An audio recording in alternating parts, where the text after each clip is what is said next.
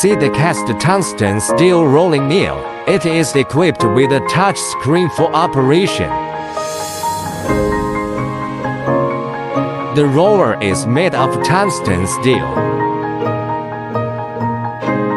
The thickness of the gold sheet pressed by it can reach 0.05 mm. This is magnetic powder clutch winding device, which can roll up the gold sheet.